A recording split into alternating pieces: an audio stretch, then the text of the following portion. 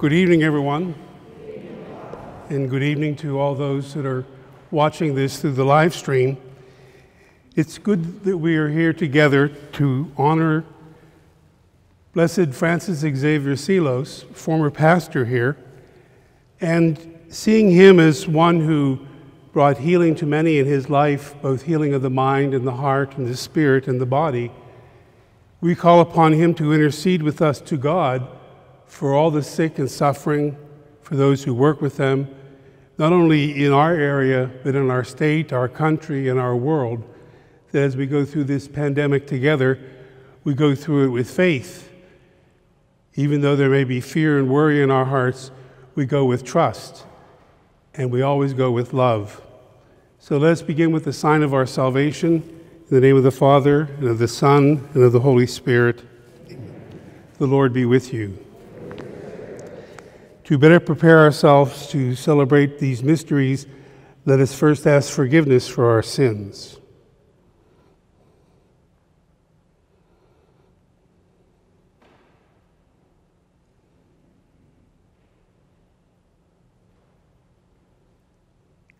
Lord Jesus, you call us to have faith in your promises. Lord, have mercy. Lord Jesus, you call us to hope in always for life eternal. Christ have mercy. Lord, you hope us hope that we always act and pray and think in love. Lord, have mercy. May Almighty God have mercy on us, forgive us our sins, and bring us to life everlasting. Amen. Let us pray.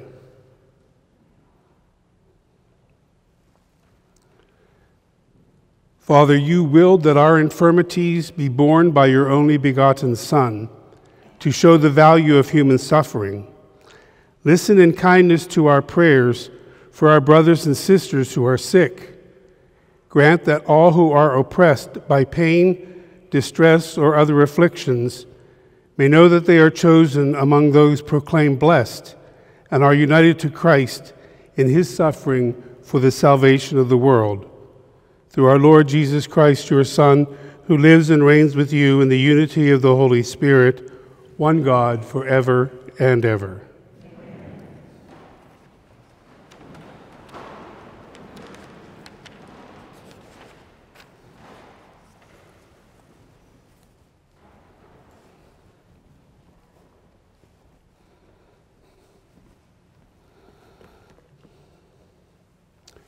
A reading from the letter of St. Paul to the Romans. Brothers and sisters, the Spirit comes to our aid in our weakness, for we do not know how to pray as we ought.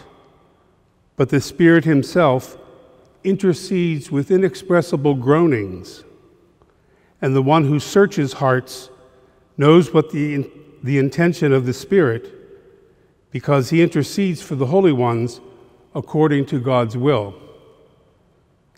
We know that all things work for good for those who love God, who are called according to his purpose. For those he foreknew, he also predestined to be conformed to the image of his Son, so that he might be the firstborn among, among, many brothers and sisters. And those he predestined, he also called. And those he called, he also justified. And those he justified, he also glorified. The word of the Lord.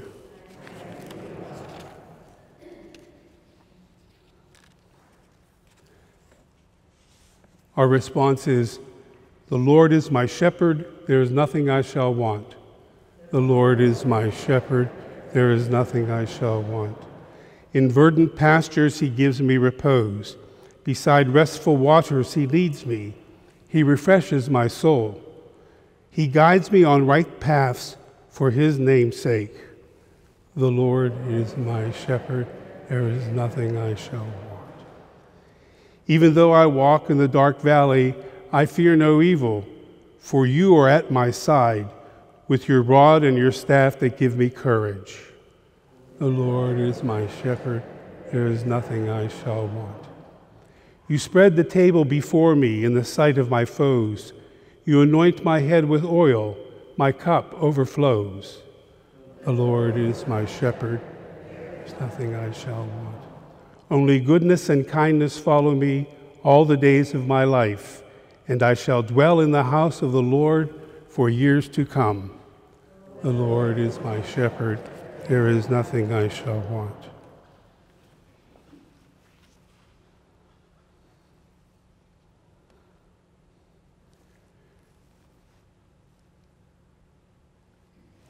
Alleluia, Alleluia.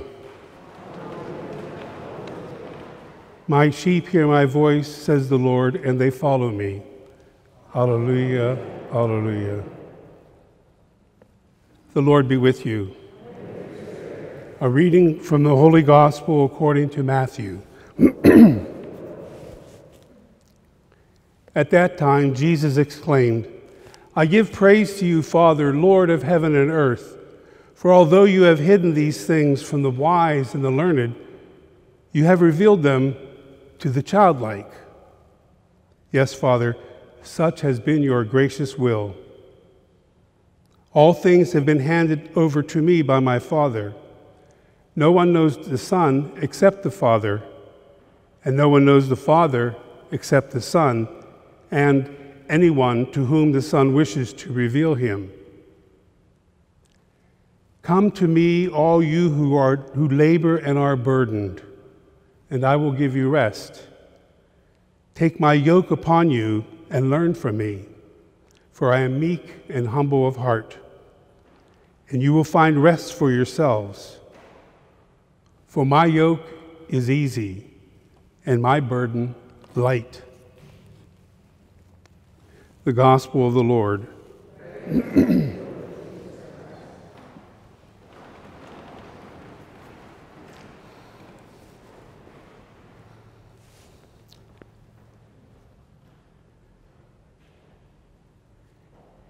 It's good we come to the Lord. He says, Those who labor and are, are burdened, are heavy burdened. Because many of us, and Lord knows many in our community, our nation, our world, are heavy burdened with this pandemic. Heavy burdened with not only the financial distress, but the fear of the virus, of loved ones getting sick and dying. And we We've had so many in this country die, but so many thousands and hundreds of thousands more in India and Pakistan and China and all the nations of the world have been struck by this. So many people are, are heavy burdened. Many people are worried. Many people live in fear. Many people live in doubt. Where is God? And it's with this in mind that we have this massive healing because healing can come in many forms. Sure, at times there's a physical healing, a manifestation, as would happen in the life of, life of Blessed Seelos. But there's so many other levels of healing because there's so many levels of pain and hurt, both mentally and physically, emotionally, spiritually, that need healing. And we found out through this pandemic how weak we really are, and sometimes how strong we are. And we find that many of our neighbors and friends are struggling with relationships, being so close with each other for so long. Problems have arisen that have been dormant for years. Marriage counselors, divorce lawyers, unfortunately, are just burgeoning with people who want out because they discovered something of themselves or their spouse during this or their family. And so there's a great deal of strain on all relationships. Just children and parents, and parents and children, us friars, you all who live single or with family, there's a strain in a relationship. And there can be a strain also in our trust trust of God. Where are you, God? Why isn't this over? We prayed a novena, and it's still here. Where are you, God, in the midst of this? And he says, I'm with you. I'm at your side. And I'm wearing a mask too. And I use hand sanitizer. But I'm going to be with you through this. Is that enough for us to have God go through this with us and not make it go away? He said, I'll be with you always till the ends of the earth, end of the age. He's with us in our struggles, financial struggles that many people are encountering, of employment, of security of their future. He's with us through that. He's with us when we doubt Him and say, well, Where are you? Why aren't you doing something? He's with us through that. He's with us when we can appreciate for a moment maybe the beauty of nature around us as the leaves start turning, the sun sets earlier in the cool evenings, and we feel that invigoration of fall and the harvest of fruits. So, those brief moments, we're rejoicing in the Lord. He doesn't want us to lose sight of the beauty that's all around us, to see what we're going through within the greater perspective of the kingdom of God. Now, that won't make any of you f- maybe feel better or get healed or anybody's relationship suddenly mend, but to know that God's with us through this. Don't you hate when you have to go through something alone? You've gone through a problem and, and nobody knows about it, and you you have it all inside yourself. And you wish you could share it with somebody and you can't. Or you have pain and you want to tell somebody. That feeling of being alone and having no one to talk to, no one to listen. That's a great fear we have and a great pain. And the Lord saying, I'm at your side, I'm with you. I was with you before the pandemic, during the pandemic, and after the pandemic. Many people found many things to complain about, rightfully so, and many things to be angry about through this pandemic, but also many people found out new things about themselves. You have a strength you had that you didn't know, or peace that you had even amidst all this, an insight you got about yourself or someone else. Many people are discovering all kinds of things about themselves and the Lord in our world through this. He didn't cause this, but He can use this for a greater cause. And the cause is to get us all to the kingdom of heaven. That's what Seelos always prayed for his students and his parishioners to become a saint. That's our role on earth. And this is part of our role of becoming saints.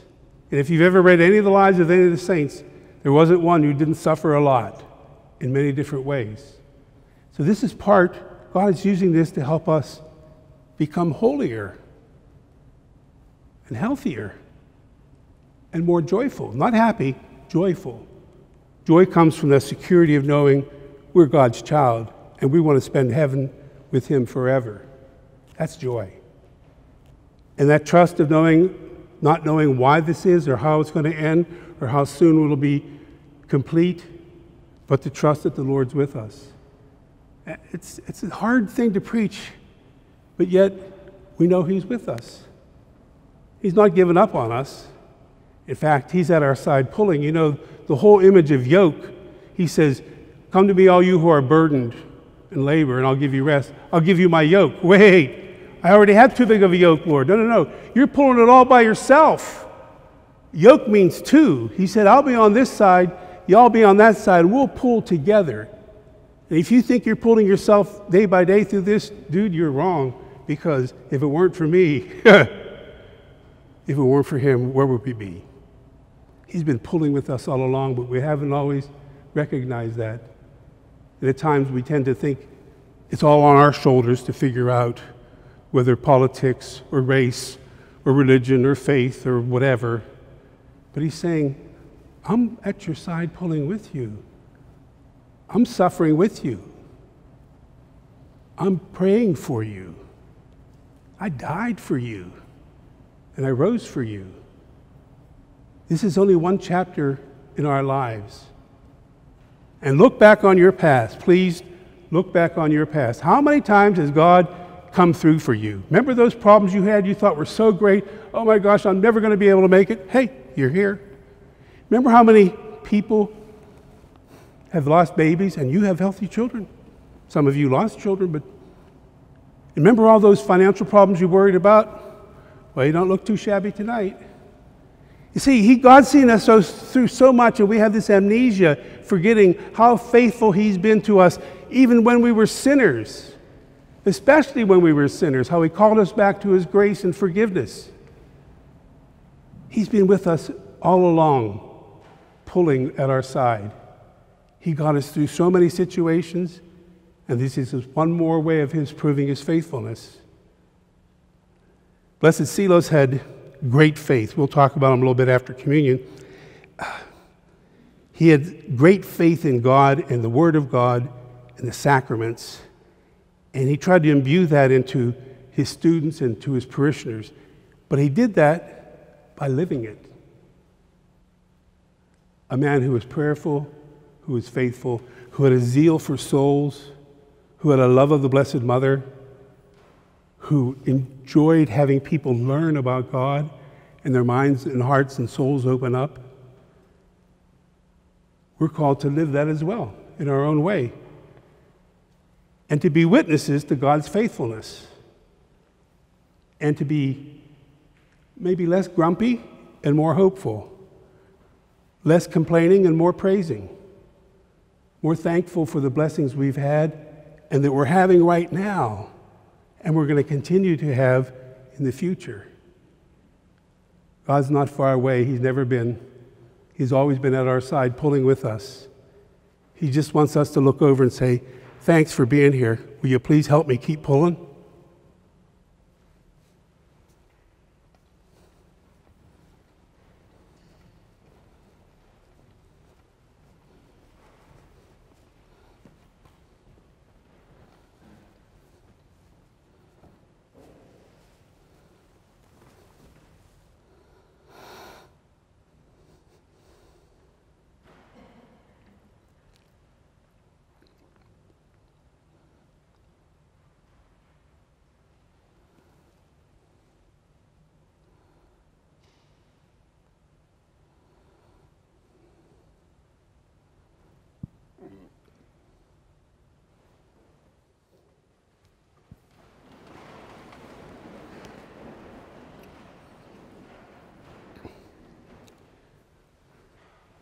Let us now offer our universal prayers of intention for the faithful. We pray for our Holy Father, our bishops, for all religious leaders. They will continue to stay attuned to the Holy Spirit and lead us to greater holiness and faithfulness. We pray to the Lord. We pray for our, all of our government leaders and world leaders, for those who serve us in public office, that they, they too will be attuned to the Holy Spirit in making just laws and seeking always the way of peace, especially for the most vulnerable in our society, we pray, we pray to the Lord. We pray for all those individuals who are suffering from the virus and those who are sick in any way, in body, mind, or spirit, that God will continue to give them courage and hope. They give them healing and peace. We pray to the Lord. We pray for all those in the medical field who are serving the sick, the scientists looking for a vaccine, for all those who are striving to keep us healthy and safe, that God will continue to give them strength in their, in their pursuit of holy, health and holiness. We pray to the Lord. We pray for all those who have died because of the virus and their families who aren't able to properly mourn their loss. We ask that you give them strength to get through each day. We pray to the Lord.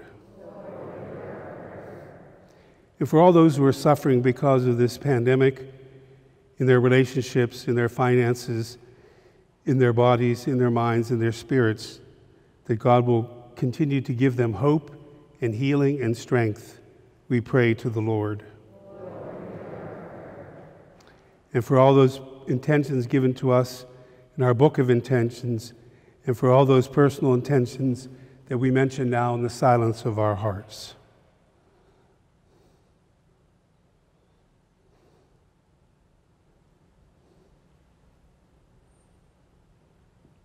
For these we pray to the Lord. Lord. Father, we thank you for sending Jesus as our yoke mate. We ask that we may continue to be faithful to you and we rely upon you to hear these prayers through Christ Jesus our Lord. Amen.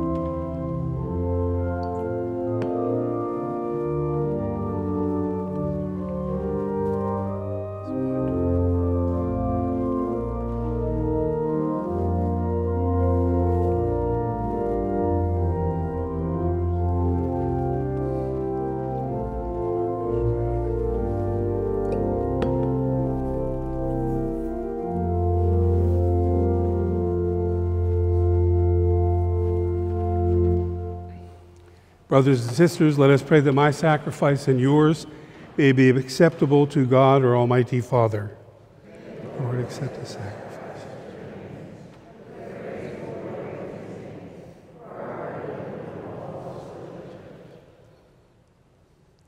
Heavenly Father, since the moments of our life unfold according to your good pleasure, receive the prayers and the sacrificial offerings by which we implore your mercy for our brothers and sisters who are ill, that having been anxious for them in their danger, may we, we may rejoice at their recovery of health through Christ Jesus our Lord.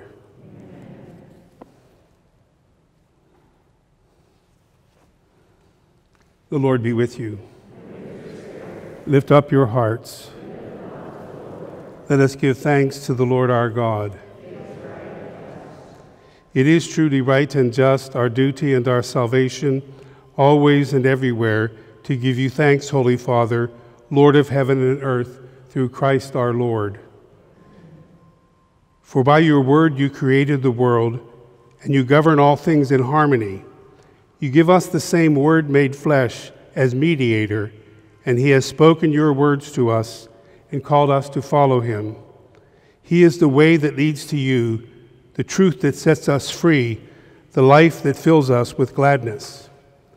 Through your Son, you gather men and women whom you made for the glory of your name into one family, redeemed by the blood of Christ and signed with the seal of the Spirit. Therefore, now, for ages unending, with all the angels and saints in heaven, we proclaim your glory as in joyful celebration we acclaim. Holy, holy, holy, Lord. Heaven and earth are full of your glory. Hosanna in the highest. Blessed is he who comes. Hosanna.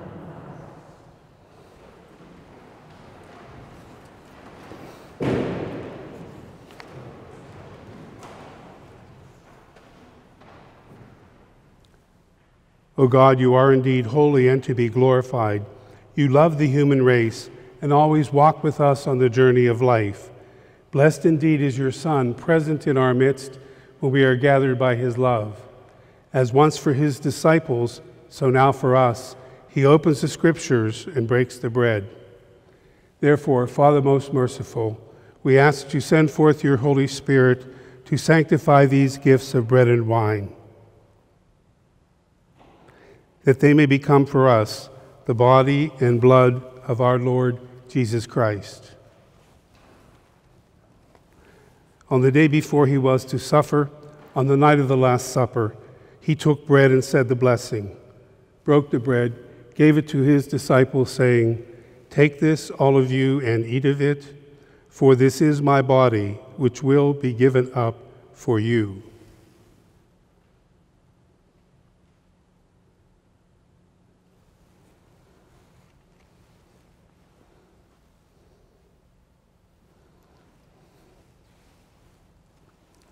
In a similar way, when supper was ended, he took the chalice, gave you thanks, gave the chalice to his disciples, saying, Take this, all of you, and drink from it, for this is the chalice of my blood, the blood of the new and eternal covenant, which will be poured out for you and for many for the forgiveness of sins.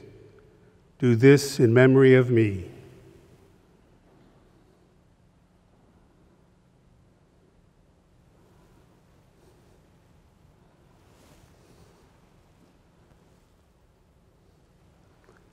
The mystery of faith when we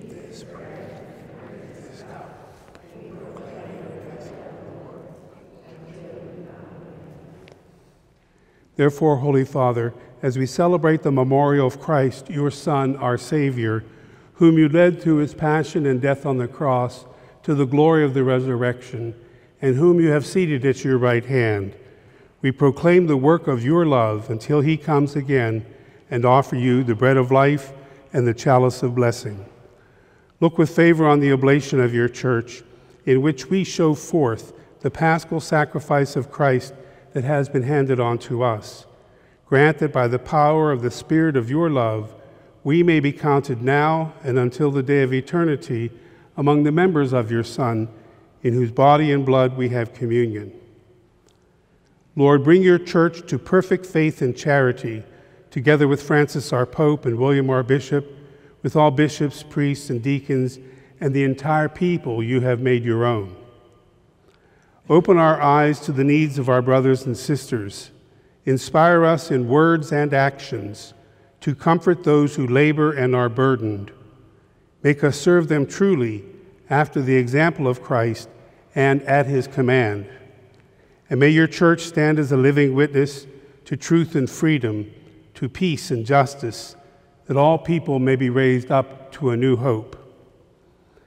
Remember our brothers and sisters who have fallen asleep in the peace of your Christ, and all the dead whose faith you alone have known.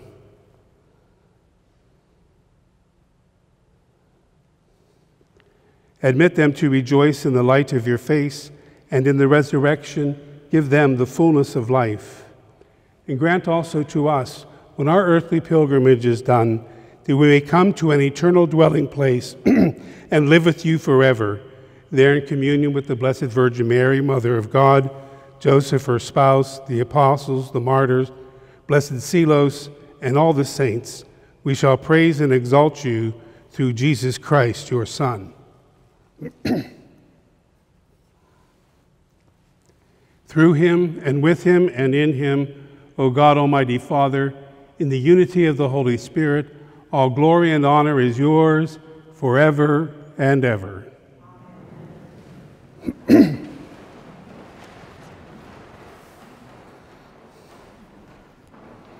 Jesus taught us to call God our Father, so now we have the courage to pray. Our Father, who art in heaven, hallowed be thy name. Thy kingdom come, thy will be on earth as it is in heaven. and forgive us our trespasses as we forgive those pass against us.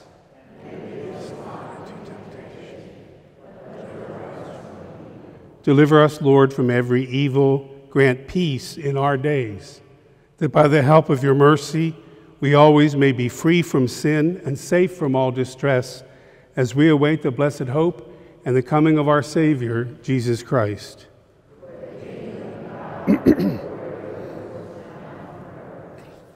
Lord Jesus Christ, you said to your apostles, Peace I leave you, my peace I give you. Look not on our sins, but upon the faith of your church. Grant her peace and unity in accordance with your will, who live and reign forever and ever. Amen. The peace of the Lord be with you always. Let's offer each other a sign of peace.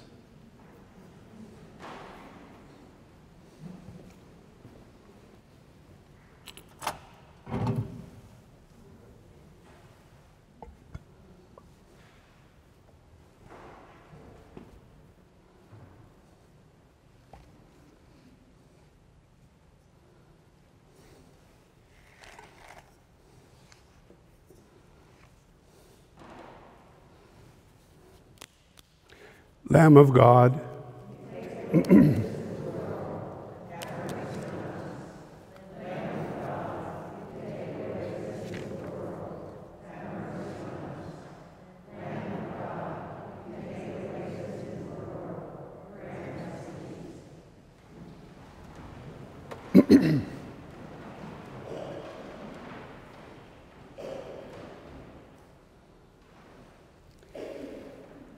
The prayer the priest says now could be something that all of us could pray. It says, Lord Jesus Christ, may the receiving of your body and blood not bring me to judgment or condemnation, but through your loving mercy, be for me protection in mind and body and a healing remedy.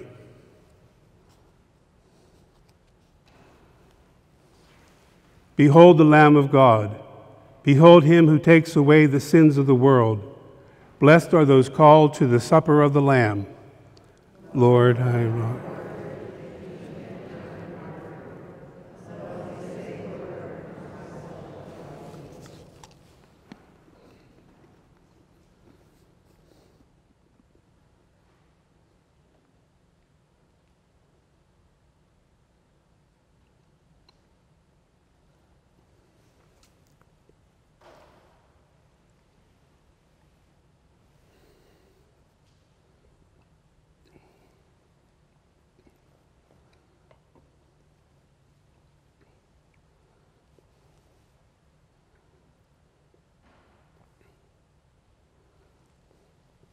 For Holy Communion, um, perhaps we would do best to do one side at a time. I'm going to first deal with the folks in the first pew here, but perhaps this side could be come forward, keeping your distance, and I'll basically drop the, ho- the sacred host into your hand, and you can step aside and consume it.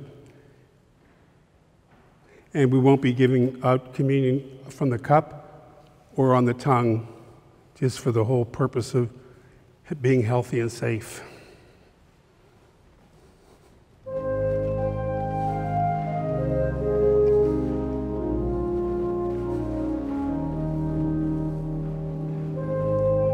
Table. Just put the table right in the middle.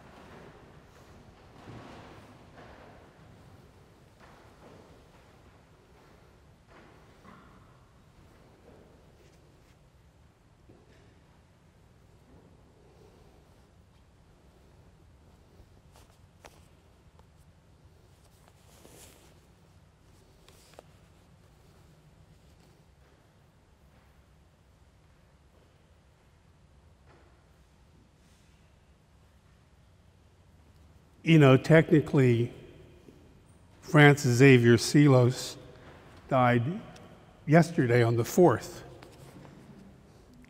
But it's also St. Francis Day, and he was a saint long before Seelos. So I guess he got a bump to the 5th instead of the 4th. But you know, I think Father Seelos loves that.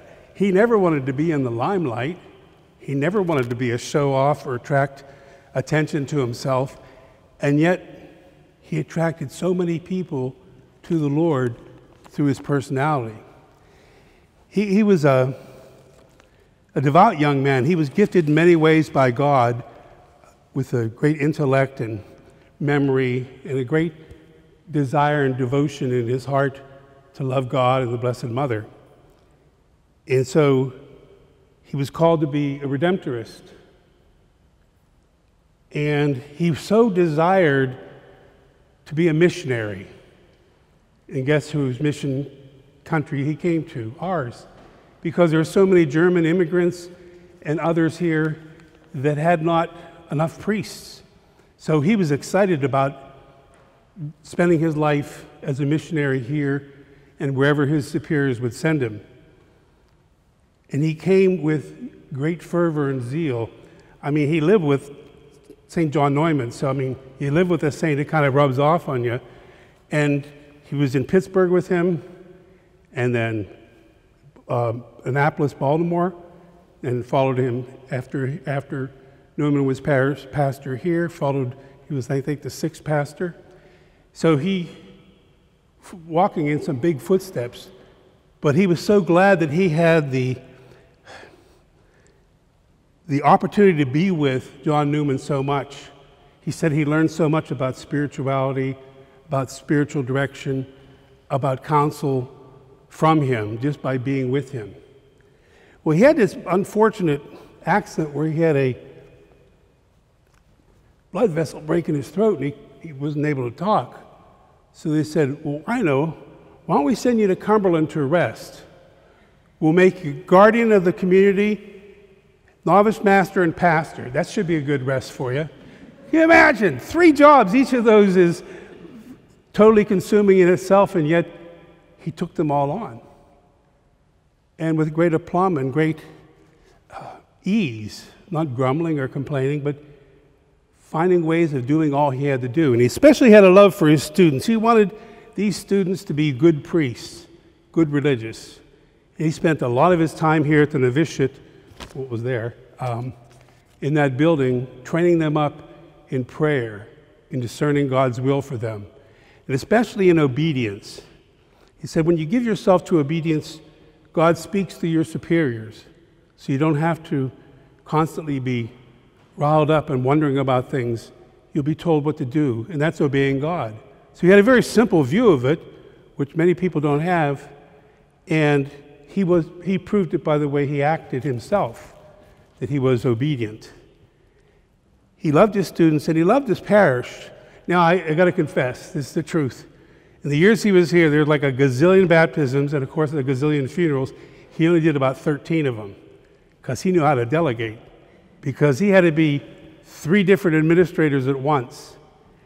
But he loved preaching here and doing Mass. And he loved, loved, loved, loved having Mass done right with all the pomp and the elegance of the old days, remember? With all the smells and bells and candles and all the processions. He loved it being done perfectly to a T. He just believed that was where our way of participating in the heavenly, not banquet, but the heavenly worship. That's how we touch close to heaven by our worship on earth. Now, there's one story, well, he, midnight mass he found to be very difficult at Christmas because a lot of unsavory people would come to church and they weren't fully with it, if you know what I mean. So he decided to have midnight mass at 2 o'clock in the morning. I guess that's when the bars closed then, too. I don't know. But anyway, 2 o'clock in the morning because he wanted to make sure it was a properly worshiped mass. But when he had 40 hours here, this is the one that really amazed me. He had all of his students, 60 of them, sing the office at midnight and it went till two in the morning. Then, when the bishop came to dedicate formally again this church after its additions, that lasted like three and a half to four hours. But he loved it. He thought it was great because he just was that whole time giving praise to God. And he saw that as our way of participating in, in the life of heaven. He counseled a lot of people. You know, he was a prolific letter writer. And people can't believe, with all the work he had to do, he'd be into the wee hours of the morning writing letters to his spiritual children, to his family, but many to people who wrote to him for counsel and advice, people who, who wanted direction in their lives. So he wrote hundreds and hundreds of letters, a few of which are left, well, a hundred some maybe, or more, but he wrote so many letters because that's his way of communicating. He didn't have text or email or FaceTime, so he had to use the, way of the times and writing by hand letters to his spiritual children. And he was a willing servant who, from Annapolis to here, well, Pittsburgh first, and Annapolis here, he kept being moved at appropriate times, but his heart was always in the missions, in giving parish missions. And his parish missions last two weeks, where they would go in, he would go in, maybe with a companion, and they would just hear confessions, give talks to all the different levels of people children, adults, singles, marrieds. And he loved sharing the Word of God. And he loved what he really loved is Sunday afternoon, he would fill this place, fill it with people who wanted to learn catechism. These were Catholics like y'all, coming on a Sunday afternoon for an hour and a half or more. And he was able to explain the faith clearly, simply, directly. He loved doing that. He loved seeing people's hearts and minds click with knowledge of the Lord and the great desire to, to pray more, to be close to God. It's amazing, it's almost ironic. When he moved to New Orleans, where his uh, national shrine is located, they had the yellow fever going on. And like so many priests of his day, he ministered to them directly which ended up giving him the yellow fever and him dying at the age of 48. Can you imagine comp- accomplishing all that before you were 48? And he left a legacy behind of holiness. You know his pictures, he looks a little gaunt and kind of pale. Well, that's how he looked. He was a skinny, gaunt guy, but also he did a lot of fasting and mortification. So he didn't really beef up much because he was busy using his penance and mortification to grow in a deeper love of God. But he had something about him his smile, his look. He had a great sense of humor, too. But people were just attracted to him and were attracted, I would say, in the Lord through him. See, when Seelos did, when people had dire need, they were like on their deathbed, or doctors said there's no more help for them, medicine can't do anymore, they're not long to live and Seelos would come with the sacraments, give them the anointing and Holy Communion, and eventually they recovered. Well, he never saw this as him. He saw this as God working through a sacrament. But the people kind of thought after a while, he had a sort of a track record of all these healings, of he being there for people in their need and being an instrument of God's healing for that person. Now, I don't know if you know it, but he had one miracle, that's why he's blessed. He needs another verified miracle to make him a saint. And maybe that miracle is here in Cumberland. Now, if you're gonna, if you have a special need, like someone that's really sick or some situation that's impossible, tell a friend or two. You can't just do it yourself. And do a novena to him. Because if you just do this on your own, who's going to believe you? But two or three of you, you know. And if you have this prayer and truly pray, who knows? His miracle to become a saint could be right here. Why not? He's a place he loves so much. He loved being here in Cumberland with the air and the mountains and the people, he said, and his students. So let's continue to ask him to pray for us during this pandemic, especially for those people that are being stricken by the virus and those who have to care for them. And let's pray that He will intercede to give us faith in God's promises, hope in the fulfillment of those promises, and love as we go through this. So that as we go through this with our yokemate Jesus, we do so as he did, with a great desire and love of God, loving of the Blessed Mother, and faithfulness to the church, and most of all, in sharing Jesus with others. That's how we'll get through this pandemic.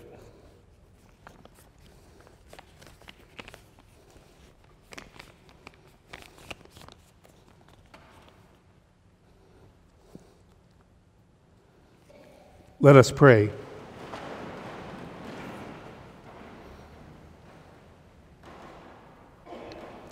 O oh God, you are the only support of our human weakness. Show the power of your protection over your servants who are sick, that sustained by your merciful help, they may be restored to your holy church in good health through Christ our Lord. And now I have a prayer of healing for you all and for our parish and our country and our world. Heavenly Father, we know that you are creator. Lord Jesus Christ, we know that you have redeemed us, risen from the dead to take us to heaven. Holy Spirit, you are the inspiration in our hearts and minds. We ask you send the healing power of your Spirit upon our city, our church, our nation, and our world, that you may restore those that are broken, that you may heal those that are sick, that you may give courage to the faint hearted that you may give faith to those who are doubting, hope to those who are fearful, and love to those who are discouraged. We ask that you give us the healings we need most healing in our mind, of our thoughts, of our emotions, feelings, of our spirit, of our soul, and of our heart.